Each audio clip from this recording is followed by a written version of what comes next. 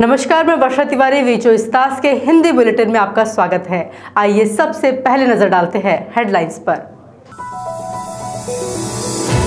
Corona vaccine की दूसरी खेप नागपुर पहुँची। शहर के लिए 20,000 और ग्रामीण के लिए 18,500 डोज। नागपुर में हल्की बारिश की संभावना। आगामी दो दिनों तक बादल छाए रहने के आसार। मनपा पार्कों में लगेगा शुल्क। प्राइवेट कंपनियों को दी जाएगी रखरखाव की ज़िम्मेदारी। अब खबरें विस्तार से।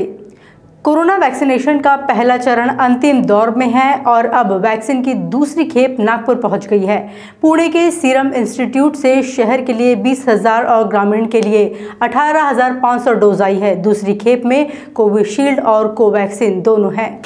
वैक्सीन के प्रति 10 डोज के 3,503 वॉयल मिले हैं।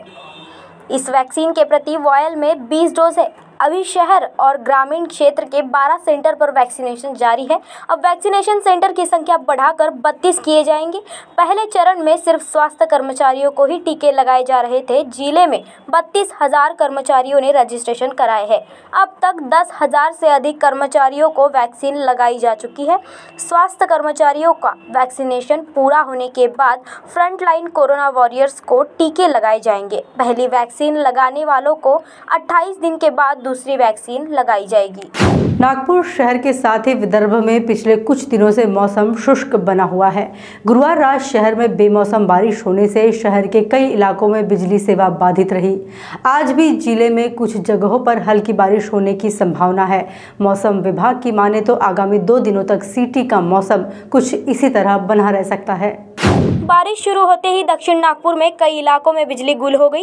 नंदनवन, गंगाबाई घाट, उत्तर नागपुर में जरीपटका और मध्य नागपुर में इतवारी सहित आसपास की कई इलाकों में रात करीब नौ बजे बिजली गुल हुई, जिससे नागरिक परेशान होते रहे।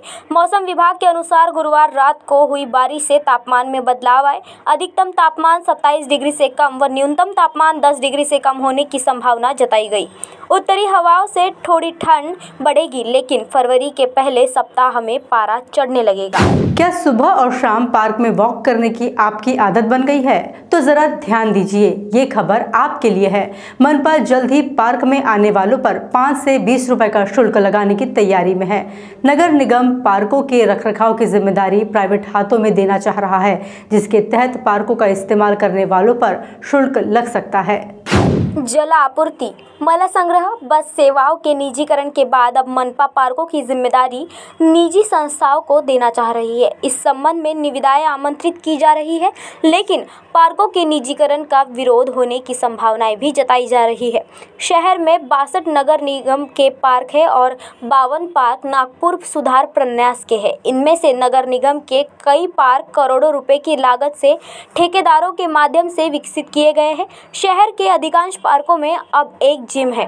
ऐसे में एक्सरसाइज के लिए हर आयु वर्ग के लोगों की संख्या बढ़ी है। मिली जानकारी के अनुसार पार्क प्रति व्यक्ति प्रतिदिन पाँच रुपये दुपहिया वाहनों के लिए दस रुपये और चार पहिया वाहनों के लिए बीस रुपये शुल्क लेगा। मनपा की आय बढ़ाने के लिए ये फैसला लिए जाने की बात मनपा प्रशासन कह रहा है। पार्क को चलाने की ज़िम्मेदारी 10 वर्षों के लिए दी जाएगी, जिसमें निजी संगठन को बिजली, पानी के बिल और भवन के खर्च के साथ पार्क का प्रबंधन करना होगा। इसके अलावा पार्क में कूड़ा निस्तारण, खिलौनों के रखरखाव और ग्रीन जिम उपकरण, पुस्तकालय, शौचालय आदि की व्यवस्था करनी होगी। साफ़ सुथरी नाग नदी हर कोई देखना चाहता है, लेकिन इसके लिए कीमत इस बार बहुत ज़्यादा चुकानी पड़ेगी। नाग नदी को साफ़ करने और ब्यूटिफिकेशन का प्रोजेक्ट कॉस्ट तकरीबन साढ़े आठ सौ करोड़ रुपए बढ़ गया है। ज़ाहिर है, बढ़ी हुई कीमत का खर्च जनता को ही चुकाना होगा। केंद्रीय मंत्री नितिन गडकरी के नाग नदी पर फोकस किए जाने के बाद एक उम्मीद जागी थी कि जल्द ही कल कल बहती साफ़ सुथरी नाग नदी शहरवासियों को देखने मिलेगी। लेकिन देरी की वजह से नाग नदी को संवारने के लिए बजट की लागत एक हज़ार दो सौ बावन करोड़ से 2117 करोड़ चला गया है। नाग नदी को संवारने के लिए 2014-15 से कोशिश की जा रही है। हाल ही में गडकरी ने मीटिंग लेकर प्रकल्प का प्रारूप दोबारा तैयार करने के निर्देश दिए। आपको बता दें कि नाग नदी का प्रारूप तैयार होने के बाद इसे केंद्र सरकार की मंजूरी के लिए भेजा गया था। केंद्र सरकार ने 14 जून 2016 में मंजूरी प्रदान की थी। बावजूद इसके नाग नदी पर काम शुरू नहीं हो पाया है। प्राइवेट स्कूलों में बढ़ते स्टूडेंट्स के बीच सीमित टीचरों के कारण बच्चों के पर्सनल अटेंशन का टारगेट कहीं ना कहीं छूट जाता है। लेकिन हम आपको शहर के एक ऐसे स्कूल के बारे में बताने जा रहे हैं, जहाँ बच्चों पर पढ़ाई के दौरान पर्सनल अटेंशन कई गुना ज़्यादा है। ये स्कूल कहीं और नहीं, बल्कि नागपुर शहर के बीचों बीच है, जिला परिषद की पटवर्धन स्कूल। लेकिन ये स्कूल अब बंद होने की कगार तक पहुँच चुकी है, क्योंकि यहाँ पूरी स्कूल में बच्चे दो है और पढ़ाने वाले मास्टर छः जी सर। तो मैं जानना चाहूँगी सर कि जब आप स्कूल में थे तो वो स्कूल कैसा था? मतलब किस तरीके का स्कूल था आप जब पटवर्धन स्कूल में थे?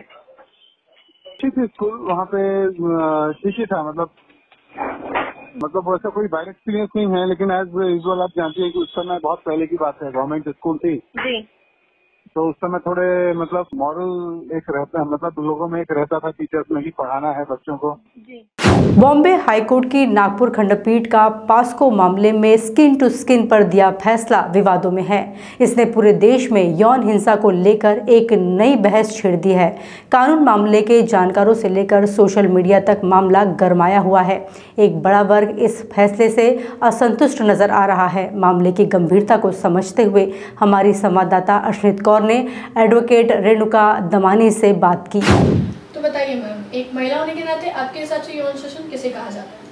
ऐसा है एक महिला को या एक लेडी को जब भी कोई गलत नज़रों से देखता है या टच करने की कोशिश करता है या किसी सेक्सुअल इंटेंशन से उसके करीब आता है जो उसे अनकंफर्टेबल कराए ऐसी सभी चीज़ें सेक्सुअल हैरेसमेंट या सेक्सुअल असॉल्ट में आती है। जी।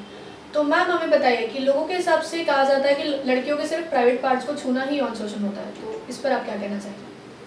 अश्नित, ऐसा नहीं है कि सिर्फ़ टचिंग ही जो है एक हैरेसमेंट का पार्ट है या हैरेसमेंट का तरीका है। और बहुत सारे तरीके हैं जो हमारी लेडीज़ डेली फेस करती हैं ट्रेन्स में बसेस में पब्लिक प्लेसेस पे।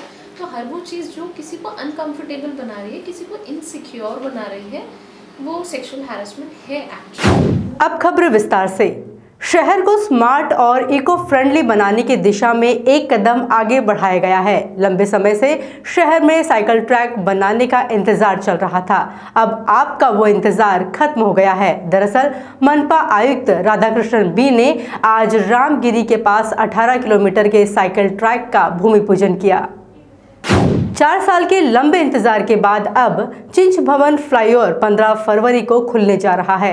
रोड सेफ्टी विभाग ने फ्लाईओवर की जाँच कर ली है। जाँच रिपोर्ट के सुझावों को लागू कर एनएचएआई आम लोगों के लिए रास्ता खोल देगा। एनएचआई के प्रोजेक्ट डायरेक्टर अभिजीत जिचकार ने बताया कि 50 करोड़ रुपए की लागत से फ्लाईओवर बनाया जा रहा है। फ्लाईओवर शुरू हो जाने से बुट्टीबोरी, मिहान सहित वर्धा और चंद्रपुर जाने वालों को जाम में फंसना नहीं पड़ेगा। लोग बेसब्री से फ्लाईओवर शुरू होने का इंतज़ार कर रहे हैं।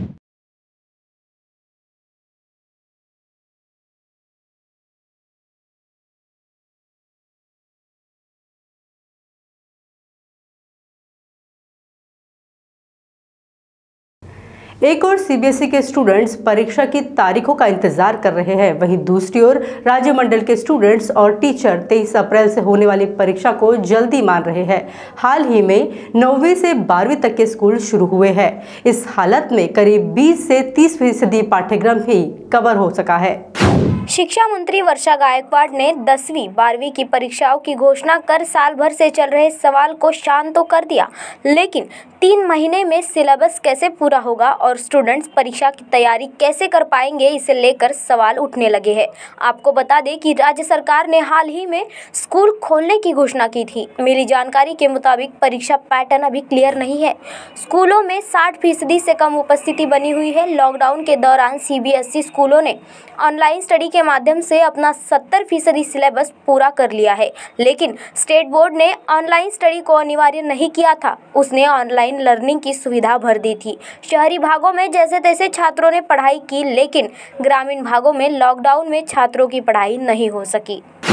खबरों में फ़िलहाल इतना ही। आप हमारे बीचों इस के सोशल मीडिया प्लेटफॉर्म, जैसे फेसबुक, ट्विटर, इंस्टाग्राम पर भी विज़िट कर सकते हैं और ताज़ा अपडेट ले सकते हैं। फ़िलहाल दीजिए इजाज़त और लगातार अपडेट जानने के लिए बने रहे हमारे साथ। देखते रहे बीचो इस नमस्कार।